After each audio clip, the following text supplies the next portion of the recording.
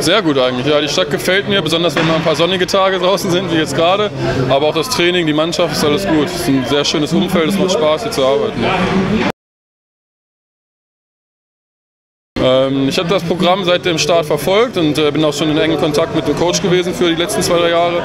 Und besonders hier wurde mir die äh, Option geboten, auf einer neuen Position auch zu spielen, mich da auszuprobieren.